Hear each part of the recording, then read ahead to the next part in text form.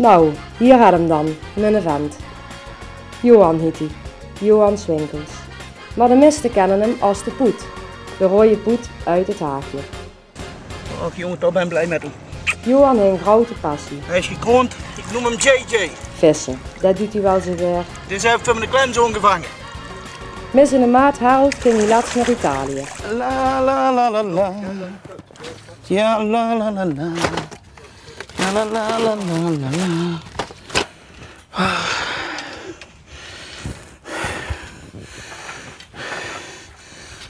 Vissen in Italië is mooi.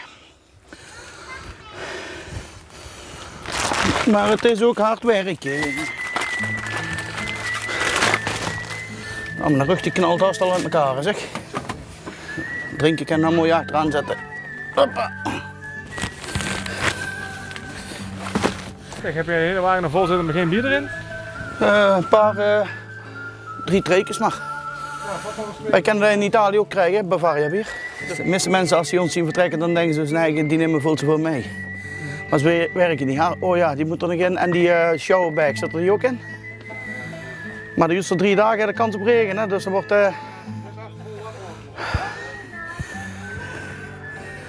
Ze, zeg- ze zeggen maar even vissen, maar je ziet het wel. Hè?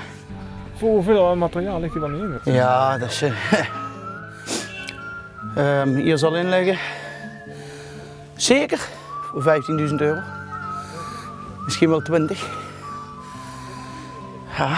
Ja, dat materiaal, de materiaal is gewoon peperduur, maar ja, dat schaft ook niet in één keer aan. Hè. Dat gebeurt in de loop der jaren, maar ja. Ja, zwaar gelaaien weer.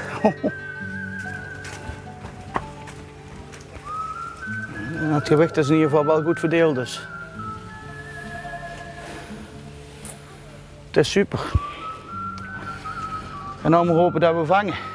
En daar gingen ze dan, voor twee weken.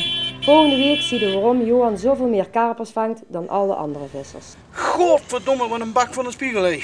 Houdoe en tot de volgende Vissen met de Poet. Kan leren.